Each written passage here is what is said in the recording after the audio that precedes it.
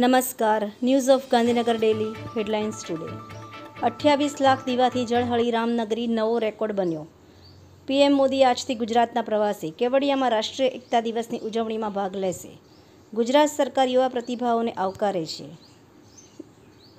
તંત્રી સ્થાનેથી, ટ્રમ્પ જીતની શક્યતા વધતા બિટકોઈને ફરી એકોતેર હજાર ડોલરની સપાટી દર્શાવી. દિવાળી પૂર્વે એકતાનગરને મળી વિકાસની ભેટ. અરવલ્લી જિલ્લા માહિતી કચેરી ખાતે રંગોળી પૂરીને દિવાળીના દિવસોને વધાવ્યા. ધનતેરસના પાવન પર્વમાં આદરણીય વડાપ્રધાન શ્રી નરેન્દ્રભાઈ મોદી સાહેબે રોજગાર મેળા અંતર્ગત વીડિયો કોન્ફરન્સથી એકાવન હજાર યુવાનોને જોઇનિંગ લેટર અર્પણ કરી.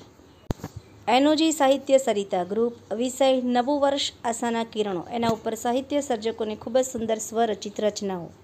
ગુજરાત સરકાર, વિકસિત ભારત, વિકસિત ગુજરાત.